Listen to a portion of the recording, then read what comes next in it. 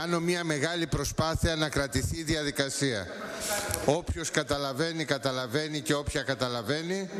Εντάξει, διότι φεύγουμε από τους χρόνους δεν ήθελα να περάσουμε στη διαδικασία να κοπούν οι βουλευτές και οι κύκλοι που είχαν δοθεί από τα κόμματα διότι είναι εξαιρετικές οι πιέσεις που ασκούνται είτε από κοινοβουλευτικούς εκπροσώπους είτε από αρχηγούς λοιπά να τηρηθούν κάποιοι άλλοι χρόνοι που είχαν στο μυαλό τους. Εντάξει αφήστε με δια της παρουσίας μου να πάει μια διαδικασία όσο μπορούμε καλύτερα. Έτσι δεν μπαίνω σε λεπτομέρειες. Κύριε Παπαγγελόπουλε παρακαλώ έχετε το λόγο. Ευχαριστώ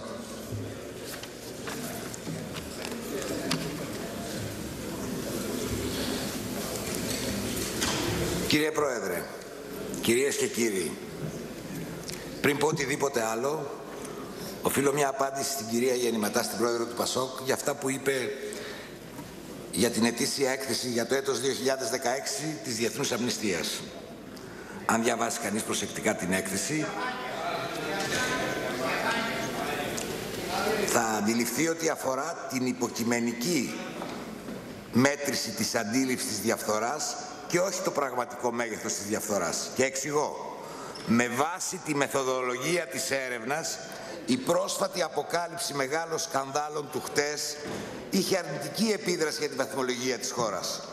Αφού καταδεικνύεται η ύπαρξη διεφθαρμένων συστημάτων του παρελθόντος που έως τώρα που κυβερνάει η σημερινή κυβέρνηση τα διεφθαρμένα συστήματα ζούσαν στη σκιά και η πέτη ήταν στο απειρόβλητο. Αυτά σε απάντηση τα όσα είπε η κυρία Γεννηματά, η οποία πρέπει να παρατηρήσω ότι κάθε φορά στην ομιλία της αναφέρεται άμεσα ή έμεσα σε μένα. Πρέπει να την ενοχλεί πολύ η παρουσία μου στην κυβέρνηση. Κυρίες και κύριοι, σήμερα πρέπει να δοθούν απαντήσεις σε μερικά πολύ απλά αλλά ταυτόχρονα πολύ σημαντικά ερωτήματα. Από τις απαντήσεις που θα δοθούν όχι μόνο θα εξαχθούν χρήσιμα συμπεράσματα, αλλά θα κριθεί και η αξιοπιστία του πολιτικού συστήματος και κυρίως αυτών που θα απαντήσουν στα ερωτήματα αυτά. Υπεκφυγές και υποκριτικές κραυγές υπέρ της διαφάνειας έχει χορτάσει ο ελληνικός λαός.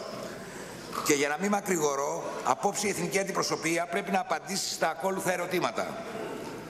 Δόθηκαν δάνεια από τις τράπεζες ύψους 1 δισεκατομμύριο 400 εκατομμύρια ευρώ στα μέσα μαζικής ενημέρωσης και 400 εκατομμύρια στα κόμματα.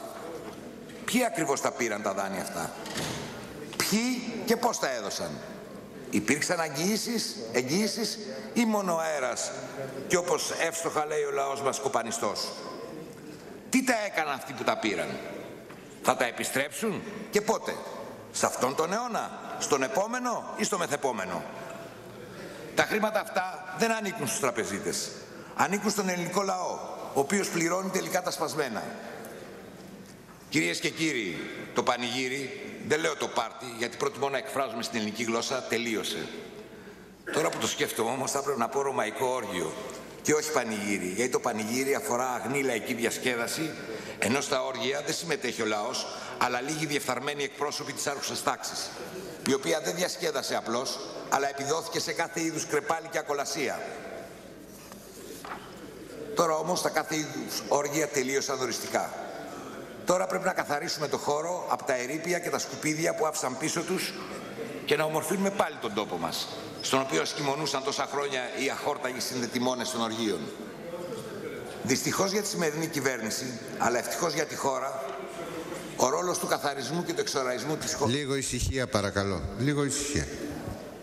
Ο ρόλος του καθαρισμού και του εξοραϊσμού της ανατέθηκε από τον ελληνικό λαό σε ανθρώπους που δεν είχαν καμία ανάμειξη στην κρεπάλη του παρελθόντος. Όμως, όσα περισσότερα χέρια συμμετάσχουν στην αποκατάσταση της καθαριότητας και του εξοραϊσμού, τόσο πιο γρήγορα και καλά αποτελέσματα θα έχουμε. Πρέπει λοιπόν να υποφεληθούμε της ευκαιρίας και να βάλουμε όλοι ένα χεράκι στον καθαρισμό και καλοπισμό της χώρας μας. Δεν πρέπει να ξεχνάμε ότι τα δάνεια στα μέσα μαζικής ενημέρωσης, εκτός από την ποινική τους διάσταση, έχουν και πολιτική διάσταση, που κατά την άποψή μου είναι πολύ χειρότερη. Τα χρήματα των δανείων, δανεικά και αγύριστα όπως αποδεικνύεται σήμερα, δεν απο... προς τα μέσα μαζικής ενημέρωσης δεν αποτελούν μόνο εγκλήματα όπως η υπεξαίρεση του δημοσίου χρήματος από αυτούς που τα ιδιοποιήθηκαν και απιστίας από τους τραπεζίτες που χορήγησαν τα θαλασσοδάνεια, αλλά και αποσταθεροποίηση της δημοκρατίας. Με τα αμαρτωλά αυτά δάνεια διατηρήθηκαν τεχνητά στη ζωή μέσα μαζικής ενημέρωσης που πρωταγωνίστησαν στη σκανδαλολογία σε βάρος εκλεγμένων κυβερνήσεων και που ασύστολα προπαγάνδισαν τα μνημόνια. Έχω αναφερθεί και στο παρελθόν από το βήμα αυτό στο παρακράτος της διαπλοκής και της μεθόδους τους, με κατεξοχήν όργανά του τα μέσα μαζικής ενημέρωσης. Δεν θα σας κουράσω επαναλαμβάνοντας τα ίδια. Θα περιοριστώ μόνο στο να θέσω δύο-τρία ρητορικά ερωτήματα. Ποιοι σχεδίασαν και υλοποίησαν το βρώμικο, όπως αποκάλεσε προηγουμένως η κυρία Γεννηματά 89. Ποιοι και πώς έριξαν την κυβέρνηση του Πρωθυπουργού που ανέφερε για πρώτη φορά και έκτοτε καθιερώθηκε τον όρο διαπλοκή. Μήπως οι ταβατζίδες της χώρας, όπως κάποιος άλλος πρωθυπουργός, τόλμησε για πρώτη φορά εύστοχα να τους χαρακτηρίσει και να τους καταγγείλει; Πόσοι πολιτικοί δεν στοχοποιήθηκαν τους ταβατζίδες προκειμένου είτε να εξοδετερωθούν είτε να συμβιβαστούν μαζί τους; Πόσοι από εσάς εδώ μέσα δεν υπήρξατε θύματα αυτής της εκβιαστικής πολιτικής, τακτικής; Εγώ πάντως υπήρξα. Αγνοούσαν όμως αυτοί που με στοχοποίησαν ότι ένας από τους αγαπημένους μου ήρωες στην ιστορία είναι ο συνταγματάρχης Καμπρών. Ο Γάλλος συνταγματάρχης που όταν ο γαλλικός στρατός είχε δια... διαλυθεί και τραπεί σε φυγή παρέμεινε στο πεδίο της μάχης και όταν τον νικέτευσε σχεδόν ο επικεφαλής των αντιπάλων δυνάμεων να παραδοθεί απάντησε με μία λέξη που δεν θα την πω ούτε ελληνικά ούτε γαλλικά για να μην βρουν ευκαιρία κάποιοι να με χαρακτηρίσουν απρεπή ή ασεβή. Όμως η λέξη είχε μια μεγαλειώδη σημασία τη στιγμή εκείνη. Υποκύπτω στον πειρασμό, με μεγάλη μου χαρά, κρυφή μεν, το ομολογώ, να φρεσκάρω τη, τη μνήμη των παλιών και να πληροφορήσω τους νεότερους ότι υπήρξε ενυπόγραφο άρθρο καταγγελία ενός σοβαρού ανθρώπου, ενός επιτυχημένου επιχειρηματία, στην πρώτη σελίδα της εφημερίδας Αδέσμευτος Τύπος προπολών ετών, με τίτλο «Ο Μίζας». Και αυτή η εφημερίδα δεν ανήκε στην αριστερά. Άραγε ποιον εννοούσε. Εγώ ξέρω, δεν θα το πω όμως, γιατί δεν, συνηθίζω ποτέ να, να χτυπάω πεσμένους. Απέναντίας δίνω το χέρι μου να τους, σηκώσω, να, να τους βοηθήσω να σηκωθούν. Κυρίες και κύριοι, δεν τρέπομαι να επαναλάβω ότι είμαι άπειρος στην πολιτική. Όμως όπως φαίνεται μαθαίνω γρήγορα. Έμαθα λοιπόν παρατηρώντας έμπειρους πολιτικούς, κυρίως της αντιπολίτευσης, μάλλον μόνο της αντιπολίτευσης, να προσπαθούν να πλήξουν την κυβέρνηση κραδένοντας και επικαλούμενοι δημοσιεύματα εχθρικών προς την κυβέρνηση και φιλικών προς την αντιπολίτευση εφημερίδων. Αποφάσισα λοιπόν να παίξω κι εγώ αυτό το παιχνίδι. Όμως επειδή δεν μου αρέσουν τα στημένα παιχνίδια, θα παίξω πιο καθαρά και θα το κάνω πιο δύσκολο για μένα για να έχει περισσότερο ενδιαφέρον. Θα επικαλούμε από εδώ και πέρα ως επιτοπλίστων εφημερίδες που ανήκουν στη δεξιά.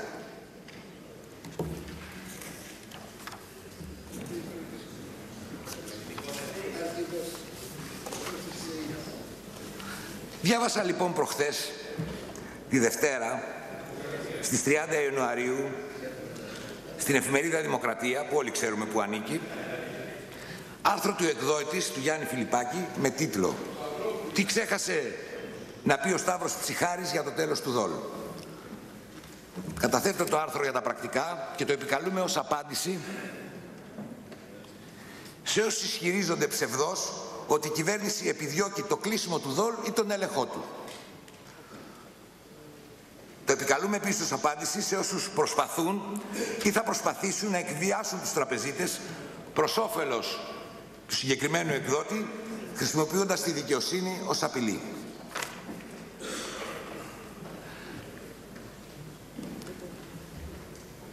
Στο σημείο αυτό θέλω να σας διαβεβαιώσω ότι η κυβέρνηση δεν πρόκειται να κάνει ούτε βήμα πίσω στη μάχη κατά της διαπλοκής.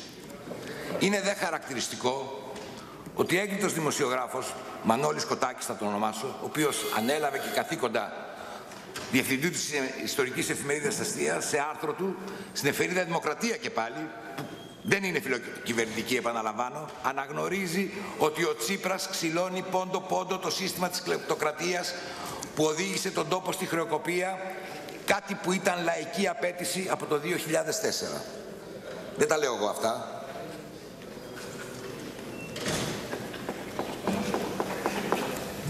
Κυρίες και κύριοι, είναι μοναδική ευκαιρία τώρα που η διαπλοϊκή πλέει τα ελίστια. Έχει Έχει σαπίσει από τα νόμιματά της. Έχει χάσει και νύχια και δόντια. Δεν μπορεί ούτε να δαγκώσει ούτε να γρατζουνίσει. Και έχει απαξιωθεί στη συνείδηση του ελληνικού λαού οι υγιείς πολιτικές δυνάμεις, έκκληση κάνω, να ενωθούν και να τις δώσουν τη χαριστική βολή. Και τι εννοώ; Κυρίες και κύριοι, οφείλουμε στον ελληνικό λαό να εξασφαλίσουμε με όσο το δυνατό μεγαλύτερη συνένεση το θεσμικό πλαίσιο που θα επιτρέπει στα υγιή μέσα μαζικής ενημέρωσης να επιτελούν το έργο της ενημέρωσης των πολιτών χωρίς εξαρτήσεις από θαλασσοδάνεια, με εγγυείς του αέρα, ύποπτες χρηματοδοτήσεις διαφήμισης και άλλες αφανείς χορηγίες.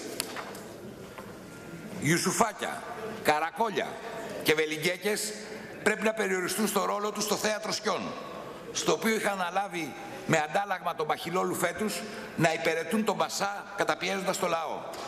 Στον τομέα της ενημέρωσης όμως πρέπει να σταματήσουν οριστικά χαλκευμένες ειδήσεις, βαρύγδουπες δίθεν εμπεριστατωμένες αναλύσεις να πλήττουν τους αντιπάλους των πασάδων της διαπλοκής. Σας ευχαριστώ.